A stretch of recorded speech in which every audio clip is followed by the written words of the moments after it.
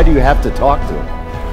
As you well understand, knowledge and education are key to compete and to succeed in a changing environment. right? Creating peace through shared understanding. Am I doing enough? We owe something better to the world. And I think it's our moral obligation to act upon it now. Fighting the good fight without fighting, but educating.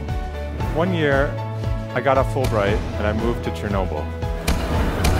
I don't feel at all punished by that experience. It forced me to get outside of my comfort zone. It changes cognitive skills in ways we didn't even know before. What we have created is something that we think will reposition developing countries. Carbon capture is ready today. So the big challenge is how to get these robots integrated into society. See, we're living in the future. So this is happening. Very good. Must be Fulbrighters. Know the world and fight for peace. Are leading the way